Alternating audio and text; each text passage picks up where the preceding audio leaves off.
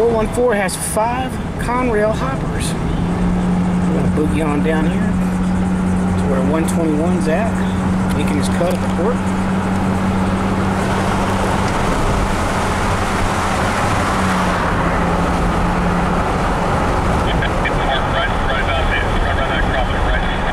So it's brand spanking new concrete ties for the All Aboard expansion.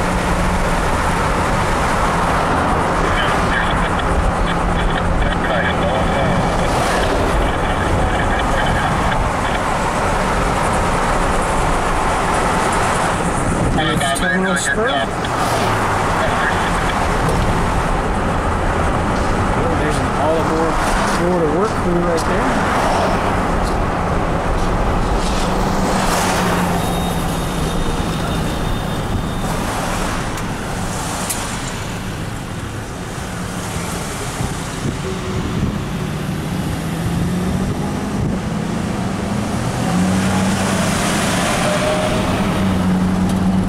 Looks like we have a couple of track machines here. One looks to be a ballast tamper, and the other one looks to be a regulator.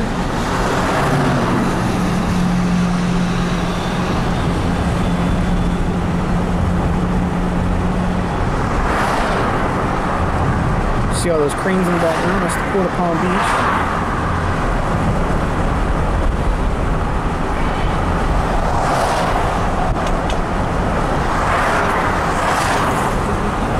There's the Port of Palm Beach itself, with all the intermodal containers. It's like the fourth largest port in the state of Florida, mainly intermodal, concrete, uh, produce, assorted other stuff. FPL runs a power plant here. As you can see part of the stacks back over here right there. At the Martin Luther King Jr. Boulevard crossing here, waiting for the green light.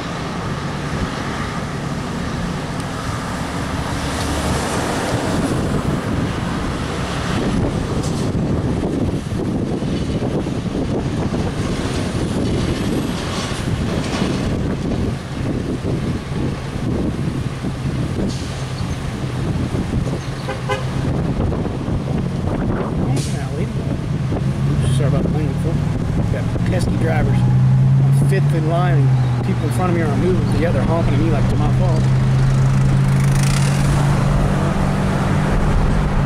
Wow, I wonder why 121 didn't drop the tropical shipping cut here. We're past the Port of Palm Beach, and they're nowhere to be found. They must be already be gone.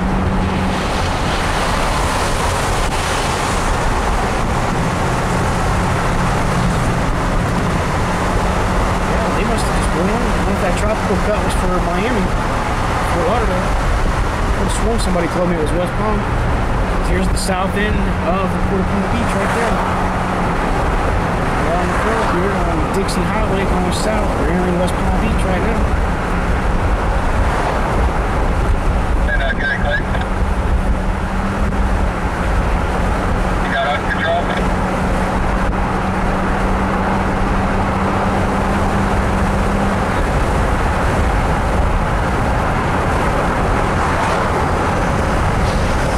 Here they are. They're up here. They seem to be stopped down here by 45th Street.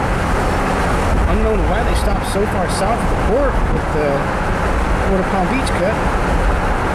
Actually, they're still moving. I don't know if I'm going to be able to catch them, folks. I don't know if see them. Right there they are. See, there's the butt end of 121 right there. Catch him here in a second. There you see folks, right there. She's still moving. That's unbelievable. I wonder if they're dropping the West Palm cut at uh, the West Palm Beach Rail Yard for some reason.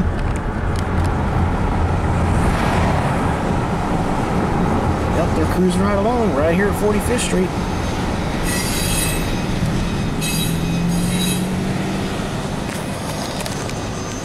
Gator Train Chaser out.